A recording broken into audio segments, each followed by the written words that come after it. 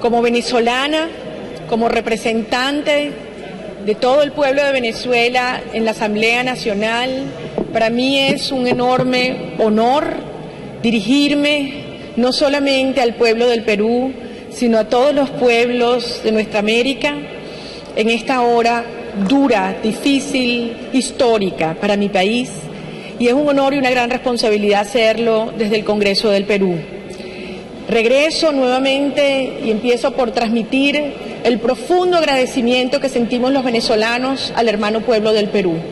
Si hay un pueblo en América Latina que nos ha acompañado en nuestra causa y nos ha demostrado su apoyo, su solidaridad y su cariño, son los peruanos.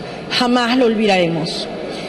He tenido una muy grata, muy fructífera reunión esta mañana con colegas parlamentarios, encabezada por el congresista Martín Belaunde, presidente de la Comisión de Relaciones Exteriores del Congreso del Perú, y con parlamentarios de las bancadas que usted mencionó, señor presidente.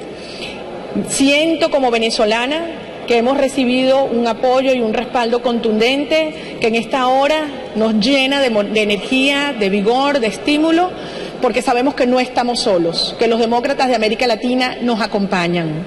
Y por eso quise que fuese desde aquí, desde Lima, en el cual yo hiciese del conocimiento público de los venezolanos en primer lugar y seguida de todos los latinoamericanos, de mi respuesta oficial al régimen venezolano ante los ataques de los cuales he sido objeto. Yo soy ciudadana venezolana, diputada de la Asamblea Nacional, porque el pueblo de Venezuela me eligió como tal en el año 2010 por mandato de la Constitución y en ejercicio del poder soberano. Este mandato popular, según la Constitución venezolana, solo puede terminar por cuatro opciones, por cuatro vías. Por la muerte, por la renuncia, por un referéndum revocatorio o por una destitución producto de una sentencia firme de un tribunal una vez que haya tenido lugar antes un antejuicio de mérito en el Tribunal Supremo de Justicia y el allanamiento de mi inmunidad en la Asamblea Nacional. Ninguna de estas cuatro opciones han tenido lugar, por lo tanto yo soy diputada de la Asamblea Nacional, en la Asamblea Nacional de Venezuela y allí represento a todos mis conciudadanos. El presidente de la Asamblea Nacional ni la directiva de la Asamblea Nacional tiene potestades, facultades para destituir un diputado. Solamente puede separarse temporalmente del cargo a un diputado, según lo establece el artículo 187, numeral 20 de la Constitución, temporalmente del cargo, si hay una votación mayoritaria de los dos tercios de la Asamblea, lo cual el régimen venezolano no tiene ni dentro ni fuera de la Asamblea Nacional porque saben que son minoría en las calles de Venezuela. Es por eso que han optado por este mecanismo brutal, anticonstitucional, típico de un régimen dictatorial para callar mi voz y para silenciarme. Como todos ustedes saben, el pasado viernes tuve el honor y la oportunidad de asistir al Consejo Permanente de la Organización de Estados Americanos.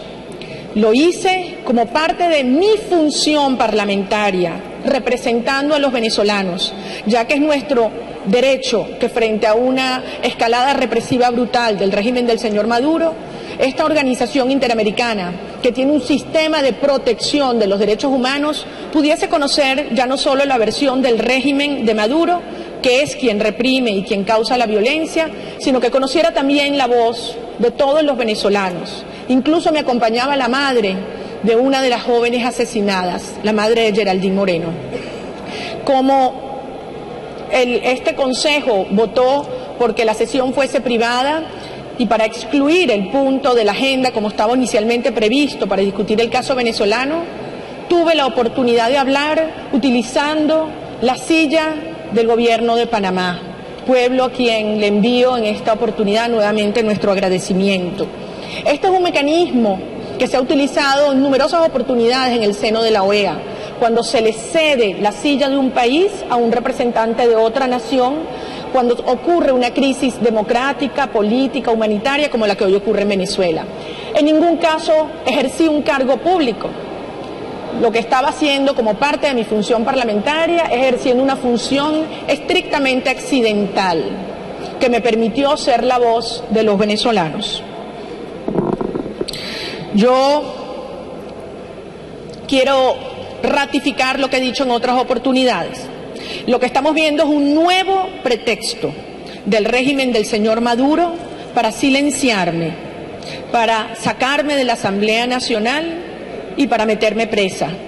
Porque creen que silenciando mi voz van a silenciar la voz de aquellos venezolanos mayoritarios, gente que sufre no solamente los estragos de la crisis económica y social, sino la represión brutal de estos días en Venezuela. Pero se equivocan, se equivocan si creen que con esta acción nos van a intimidar o nos van a dividir. En este momento quiero, a través de ustedes, enviarle un mensaje a todos los venezolanos. Para mí es un honor ser la voz de los venezolanos dentro y fuera de mi país dentro y fuera de la Asamblea Nacional.